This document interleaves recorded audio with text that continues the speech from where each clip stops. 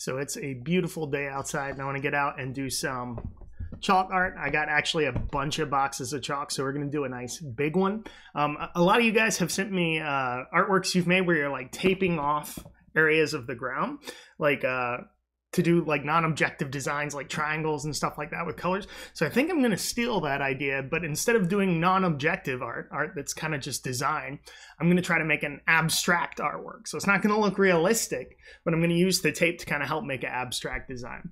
So we're going to see what we come up with and uh, yeah, hopefully I'll be able to get everything that I'm doing on camera so you can see how we made it.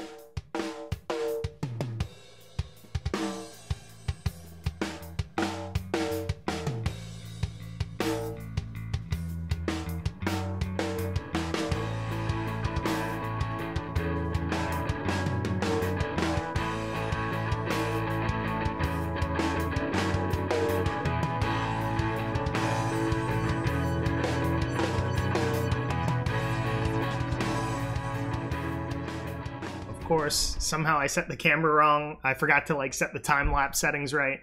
So we only captured the very first part of getting the um, tape done on the ground. So I'll just show you the finished result and get into the chalking part and make sure I have the camera set right for the chalking part. It ended up taking honestly about two hours just to do this taping, and I have a feeling it's going to take longer than that for the chalk. But here's what we came up with, and uh, hopefully this will go right this time.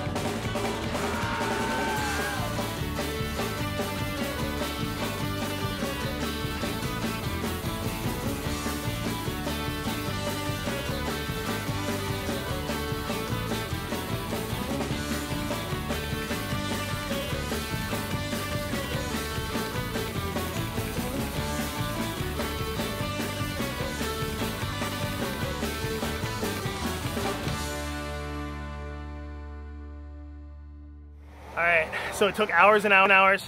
We finally finished it. Let's go take a closer look. I, I honestly, like, I'm really happy with how this thing turned out. All right, so, so there's the finished design. I really, I did not expect it to look that cool when the tape came off, but I really think the pulling the tape off made it look awesome.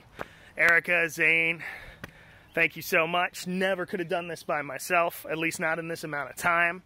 So yeah, um, I really like, we, we didn't know at first, should we make these like hills or should we make them water? And I really like the way the green and the blue look together down there.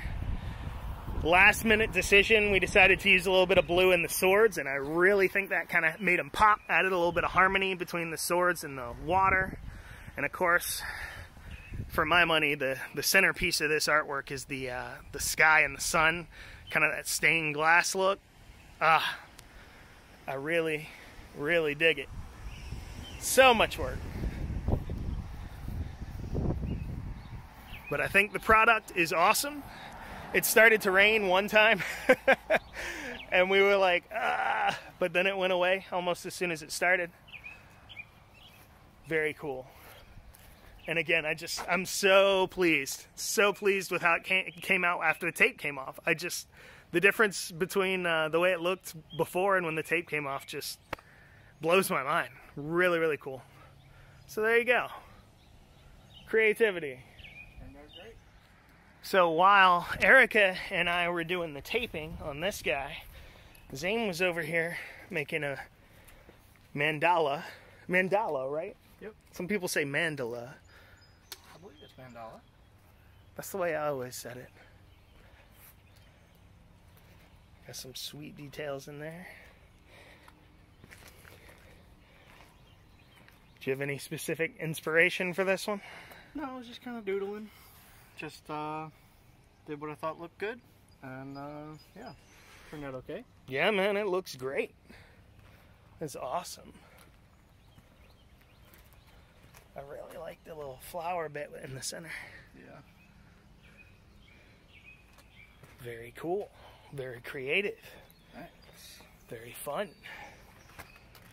All right. Well, it's just about nighttime. we got that. A day well spent. For sure.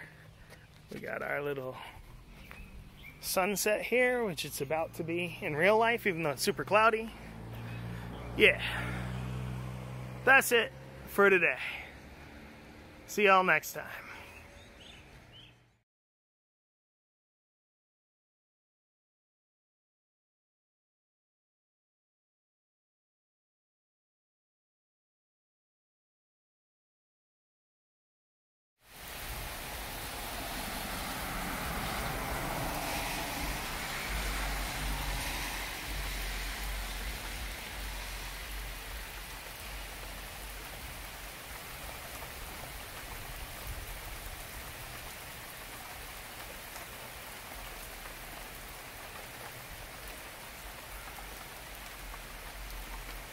And there it goes. Look at that.